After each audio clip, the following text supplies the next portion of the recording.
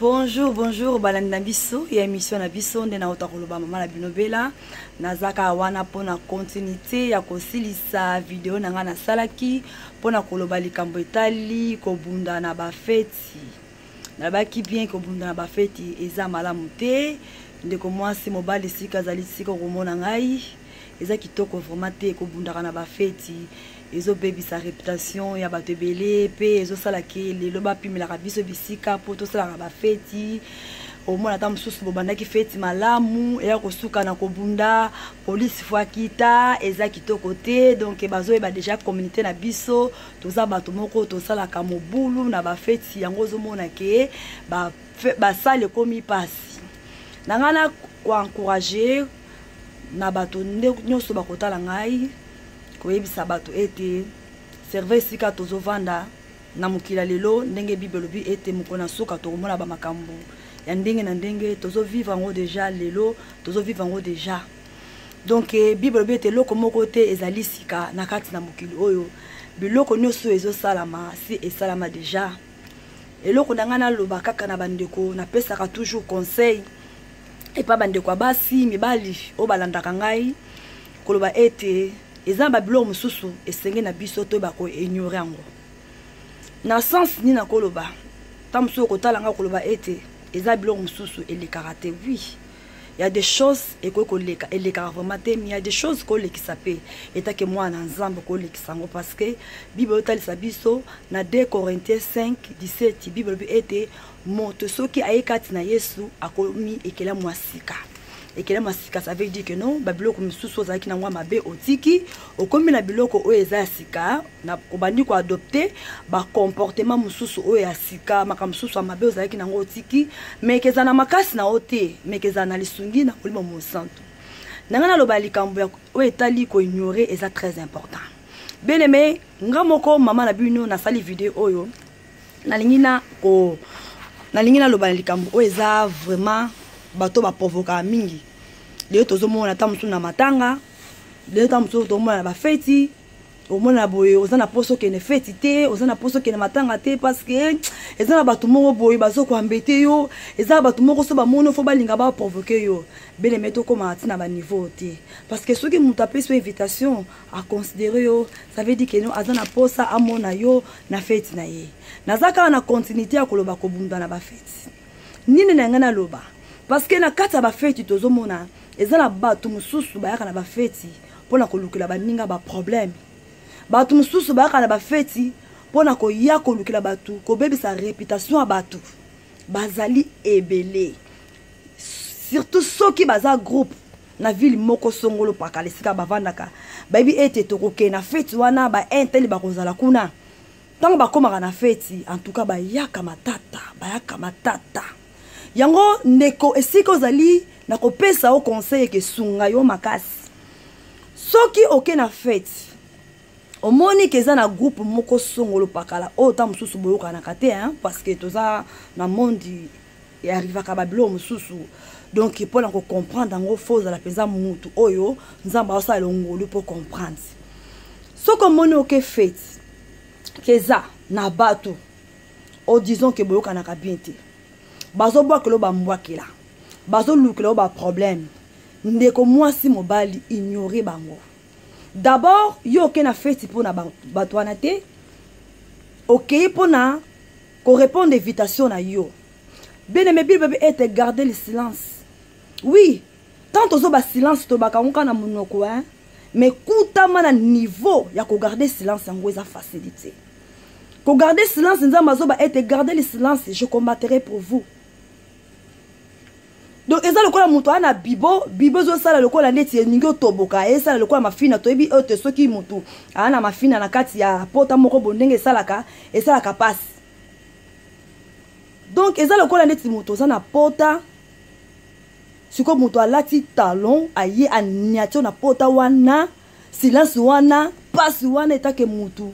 okokoka te ata ogangi te me okosala ata basini eza ndenge moko lokola motu azali kotuka yo ntango ozokende na bafeti ozokende bamatanga lelo tozomona yango na bamatanga meme eza na bato ake kaka matanga ayebi kaka ke no ngai na etele wana toyokanaka te aolingi asala kaka tout pa provoke yo or ye auti deja na emission nde na kata ndako mission na eza kaka mpo abebisa reputation na yo eloko mosusu te mpo bayaka mabe soki bamoni bato me soki aza ye moko na bisi bokutani na nzela akosala eloko moko te ndeko mwasi mobali esika ozoyoka ngai okotala ngai nalingi naloba na yo ete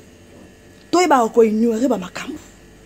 bilo mosusu tomoni yango esali yo mpasi etuki yo esali yo vraimen mpasi douleur osentir yango me oyebi oignore yango na bafeti ignore na bamatanga ignore ngai moko esekomama mpa na ngai na ndeko moko abanda kosamba na eglize na biso ndeko wana azwaki probleme na bato mosusu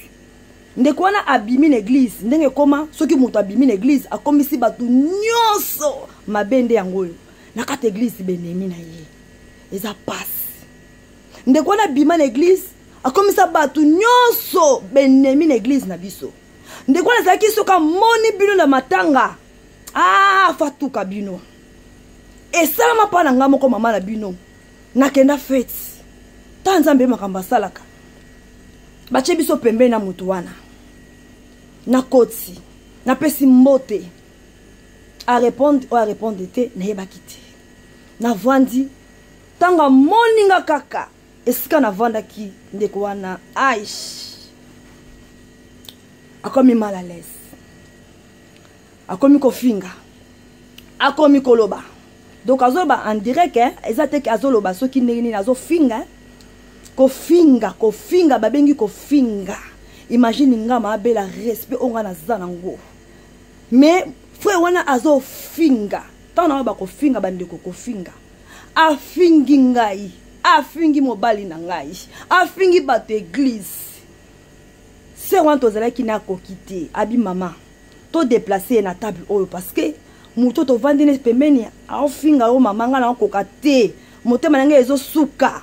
ngai bino mama nzambe apesa biso kimia tokokende boye te parce que biso toyaki mpo na ye te toyaki mpo na tosepelisa bato bapesi biso invitation torépondre mpe na invitation na ye ngabi ignore ye kokipe ye te akontinaki ndeko mwasi wana bi mama mpo na nini kino ntina feti feti moto eza esika ya esengo me yo oye na feti moto azolinga moto azolinga abebisa reputation na yo moto azolinga abebisa vi na yo kaka na feti azoba makambo moko oyo ezopesa okanda mama ovandi pembeni na ye ngabi mama nayelaki ye te nayelaki moto ya efeti kati na ngai naobondela nzambe apesa ngai kimia nzambe asimba motema na ngai parceke toza bato ekoma moma moko osupporte osupporte mona eye eh, moko okoki te soki imagine moto boza na ye pemeni mosika te belememe pembeni donc miziki ezobeta makambo nyonso azoloba belemene azoyoka azokoatire mpo na ngai mpe bato baza pembeni na ndeko yango bazoyeba keno azoki ko s'adresse mpa na nga imagine niveau degre oyo abimaki yango na ndako na ye bato bazokomprendre ke azoloba mpo na ngai bato bazoyeba na bango ke azolobela mpo na ngai abandi kofinga atelemi esika azalaki akomi olakisa bilamba ngai alataka ngwanzu te ngai alataka boye te ngai aza boye te mwasi na ngai ndenge alati na feti boye aleki bango aza kitoko aza boye aza boye aza mokau te aza akonga na aza nzoto mikie abandi kofinga ngai afingi afingi bene mesika nazalaki e moko motema ezokoka su te e mo motema ekomi na suka na biseigneur simba nga pesa nga kimia navandi beneme ekomaki moma moko afingi alobi alobi afingi ngai alobi afingi ngai ngai nakomi kosenga sikora akimia na santi ke nzambe akomi kosala ere moko kibomoto ekomi kosala kati na ngai ngai bino jika ntina bafeti moto afinga yo osali eloko moko te bokuta na feti moto afinga yo kaka bongo tovandaki esika moko e mwa makanisi mabe ekomoyila ngai nabi ete aza mobali akoki kobeta ngai awa na feti e moko nazwa makanisi ngai bi te natelema nazwa ata babute ezali awa babute ezali awa nabamba yo bie nini me katikati na ngai nzambe abi nor non ngai nayebi yo boye te bela ngai nayebi yo boye te ngai nayebi oko oza une femme courageuse nayebi ete oza une femme comme pas l'autre comme oza lokola lokola basi mosusu te ngai nayebi ete oza mwasi mayele jamais okosala eloko ya boye jamais okokoma na niveau ya boye na mboka na bino bato baganga balobake wi abundaki na feti jamais bien aime ndeko mwasi mobali esika otala ngai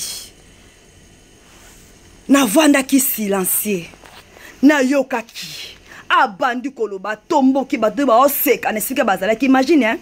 so oke na feti boke kutana na esika moko na bato moko boye oyo banyoraka bino bakipaka bino te bamona bino lokola baennemi sikoyo bango baza ebele bino boza ata mosusu deux personnes trois fois mais nakumisa ye nzambe ata tozalaki deux fois tozalaki de, de personne nazalaki na kondima ete ke baange bazalaki na ngai nazalaki na kondima ete nazalaki ngai moko te molimo mosanto azalaki kati na ngai epesaki ngai makasi ya kosupporte nyonso oyo ndeko ya mobali abandaki koloba bien aime na kibomoto nakoya kosupporte yango te ntango mosusu yango obenga mobali na ngai na telefoni yaka mbangu awa ah, makambo eyosimba te mais nzambe apesaki ngai makasi alobi alobi kino ntango ekoma ekote mosusu naokaki mposa koyeba kosisoulage ebeneme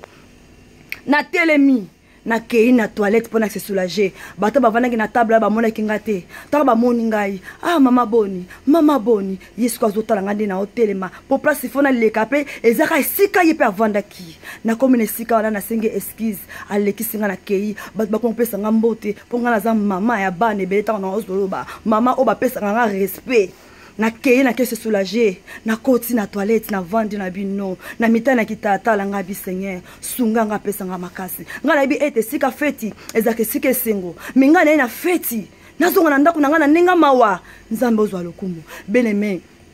nabimi na toilette ntango nazoya mpo navanda boye moto akomi kotala nga kaka aotala nga na ndenge navandaki na kiti moto abandaki koloba mingi moto abandaki koganga bele meta na oloba kofinga eza biloko mosusu moye toloba yango boye eza te eh? bato ebele bakotala ngai naza mama moko en tout cas nalingaka korespecte bato ozosanti ke azotuka ngai nini nyonso naye comprendre ntango nazongi naye kovanda na kiti ndenge navandaki na kiti moto abandaki koganga koloba na comprenaki te nde nzambe asimbaki monoko na ye mpe apesaki ye kimia abanda ya sukoloba te kino naye kobima na feti mpasi atikalaki ndeko wana bande kolobima susu te nakomi na ndako nayebisi mobali na ngai te nafukami na bondeli me naye kocomprendre ke non ah diable aza rise soki nabambaka ye molangi na feti soki nasalaka desordre na feti mpo ye mpe aza mobali nga atika nga te angaka beta nga peut-être azalaki mpe na mwasi na ye mpa mosusu banga bakɔta est ce que bato wana bazalaki pembeni na ye banga bayebake non est ce que moninga na bango abanda koloba mabe na ngai mai mokili nyonso yango obeta maboko banga bake non yo osalaki mabe yo moto otelemaki na table oye kozwa molangi obambi moto wana tala satana ndenge alingaki ayokisa nga soni tala satana ndenge alingaki abebisa reputation na nga yango nazoloba bien aime kobunda bafete eza mabe eza quelque part bato mosusu aoke na feti azokanela yo alingi te bozala bino mibale parce que alingi ayokisa soni bino mibale te alingi ayokisa oka soni soki boza bato ebele yango mission baza na yango badetruire yo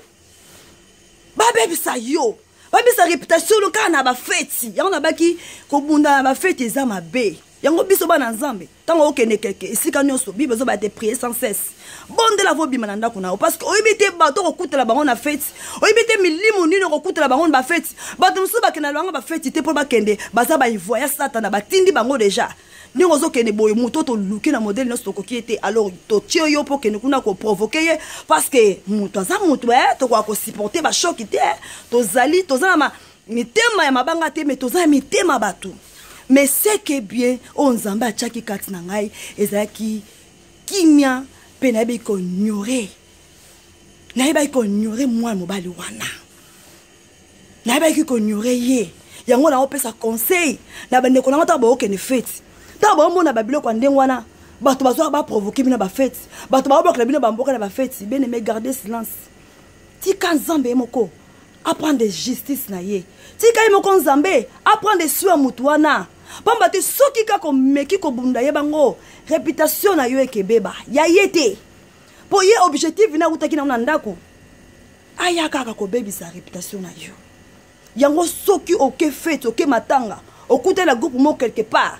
oyo ke bazali ke balingaka yo te oyo ke bazali ke babwakela ko bambwakela ignore bango mona bango lokola omona bango te nzambe apambola bino